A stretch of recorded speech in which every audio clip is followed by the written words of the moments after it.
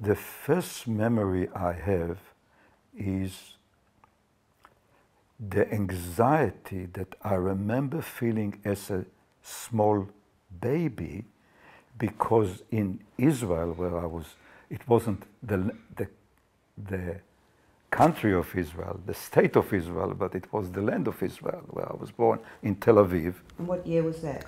39. Um, we, were, we had air shelters where I remember the, the entrance into the apartment building where I grew up was an air shelter uh, because uh, Tel Aviv was bombed by the Italian. Um, and there was also the fear of Rommel's, the German army coming to Israel. So I, I have a, a I still rem I remember clearly the air shelter itself, but I also recall the fear and anxiety that was felt around. And probably that would have been one, if not the first memory. The other one was at the end of our street, uh, in a the deserted uh, petrol station, lived a family where the mother, we called, the, the kids in the street called, in Hebrew I'll say, it, Rachel HaMeshugat, crazy mad woman Rachel. And she would run up and down the streets just about every night, screaming at top of her voice. She clearly experienced, in retrospect, she was hallucinating, that she was being chased by the Nazis. So I remember my nights hearing her screaming. Uh, the other powerful memory I have of the Holocaust is 45 onwards, the radio station in Israel in Hebrew would have hours upon hours of uh, announcement. I recall the Hebrew words for it. הסוכנות היהודית מבקשת את עזרת הציבור בחיפוש קרובים. The Jewish agency is seeking the assistance of the general public in locating members of families. And it went out, out went on for hours. The description of such and such is looking for his sister or brother whom they haven't seen since such and such. And that was a constant sound that was part of my childhood. Um,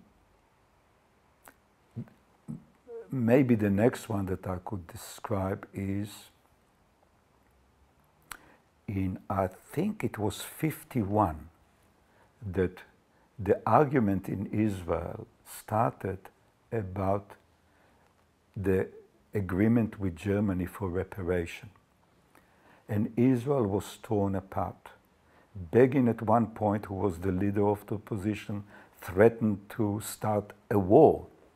Uh, people demonstrated in front of the Knesset, Israeli parliament, against the reparation.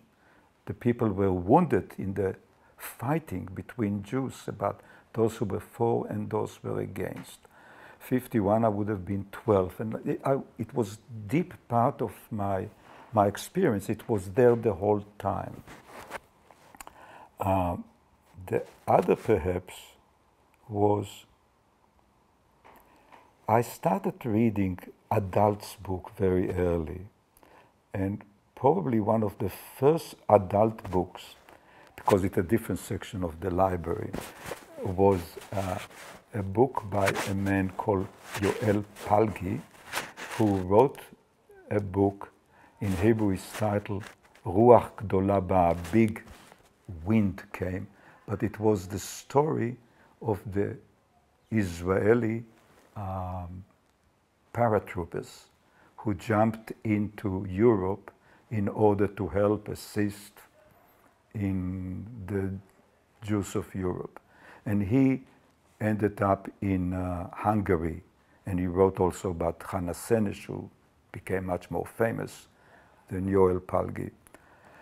And then I remember reading a book by a man who titled his book Ka Tsetnik, and then the number, meaning an inmate of um, the concentration camp. I'll go to the, the other books that I started reading was by a, a man called Ka Tsetnik, which really means an inmate of the concentration camp. And he published always by the name of Katsetnik and then his actual number. Uh, and if I recall correctly, the first book of his, which was called in Hebrew, I guess it's English too, Salamandra, I think he published in 46. So, and I think I read it very shortly afterwards. Uh, a few years later, I think it would have been 52, 53, he wrote another book called, titled The Dollhouse, which was a description of, it was translated to many languages, so I'm sure it's available in English too, and you may have read it. I actually read it. And it's a description of Jewish women being put to prostitution.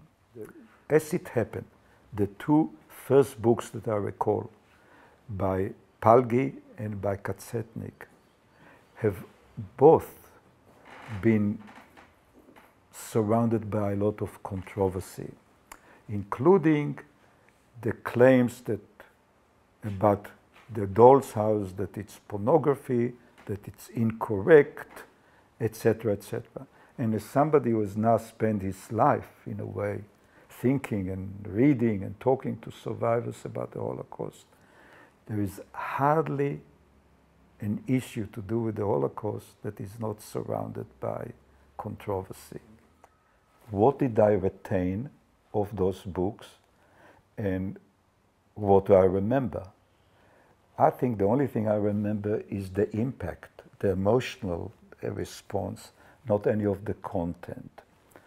But maybe I'll stay with this guy, with Katsetnik, because it's an interesting story in that what happened is he publishes under the name of Katsetnik until in 1961, the Eichmann trial starts in Israel. And he is one of the most important witnesses during the trial. For the first time, the public finds out his, his true name, which was Yechiel Dinur. And when he gives testimony, he faints. Um, and he's, all his life, he was very reluctant to be known and identified by his correct name. He said, I'm an inmate, and I want to be known and remembered as the inmate of Auschwitz. Um, but I kept following him, him, and what happened also, in 87, years and years later, he goes to Holland for treatment with a Dutch psychiatrist who treats him with LSD and brings back memories of the Holocaust to him. And he describes it in another book. And then he changes his position because until that time, in the testimony that he gave during the Eichmann trial, for example, he says, it's a key concept of his, Auschwitz was another planet it was not, cannot be understood in any human terms and categories. After the treatment in, uh, in Holland, he writes that he changed his mind and he says, the Holocaust was carried out by human being and inflicted on human being. And by the way, I think this tension between how do we think about the perpetrators and how do we think about the victims in ordinary human terms or we try to use different terms. It's a huge tension that I think, forever impacts on the way we think of the Holocaust. And then Christopher Browning, an eminent American academic, wrote Ordinary People Mm-hmm. and looked at an Einstein's group, group of men and analysed who they were. And the same thing. So debunks that it was a special, special place with special terminology. Ordinary people doing these extraordinary bad uh, That's right. things. Yeah, yeah, yeah. Yes. And it applies to the survivors too. You see, in the language, the daily language, when survivors, or sorry, the, the victims, those who died, perished, murdered, killed, often we as Jews refer to them as those who died al Kiddush Hashem, who died uh, in, to, sanct, to sanctify the, the name of God, which to many others it's an obscenity. Absolutely.